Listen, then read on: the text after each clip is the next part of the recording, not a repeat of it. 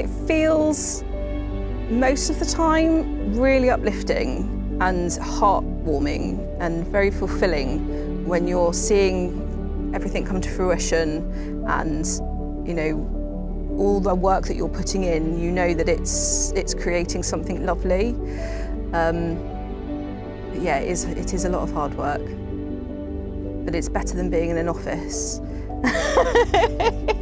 So much better I was born and raised in uh, Poole in Dorset. My uh, dad gave me a big uh, passion for growing my own food. He had a big allotment and um, because of that we've kind of always grown our own food.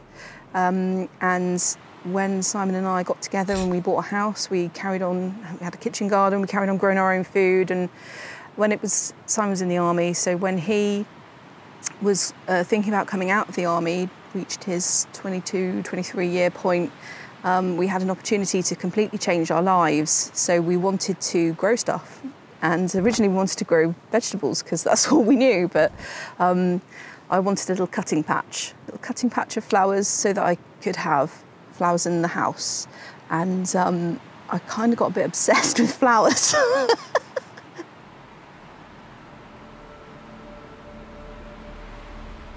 yeah, and then got really interested in floral design and and now we sort of grow our own flowers for our own use eh, and for weddings and go to farmers markets and sell at farmers markets and uh, have a lovely time.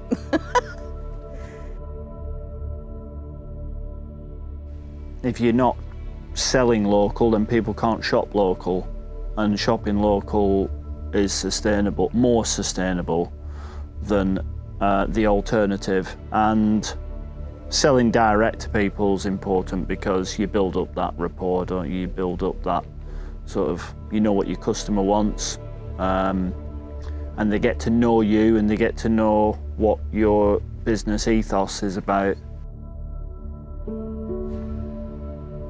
So um, during the growing season, we have a stall at Haverfordwest Farmers Market on a Friday.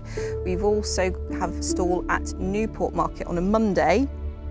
And then uh, we do a few weddings each month, uh, which we really love. But they're an awful lot of work, so we don't take on loads. Just enough to hit my creativity fix.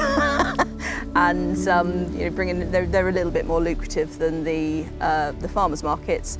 But we love the farmers markets because it's great to, you know, network with other growers, other producers. Um, a bit of a social life rather than just me and Simon mucking around in a field. um, yeah, yeah, that's our, our main thing. So we do special occasion flowers as well, you know, you know, birthday bouquets, uh, that anniversary flowers, that sort of thing. But yeah, the bulk of it is the farmers markets and the weddings. We've noticed since getting the land to now, which is uh, and working on it to now, which is only three years really of infrastructure improvement, and but the biodiversity and the habitat increase uh, is there for has been there for us to see and we're only three years in. We haven't even got any ponds or anything yet, which is exciting. It makes me feel like I'm um, almost free of mainstream life uh, and that I can just dip in and out of that when I want or when we want. Um, it's nice to take direct responsibility for everything we need. You know, so that's it's a bit liberating actually. Yeah, yeah.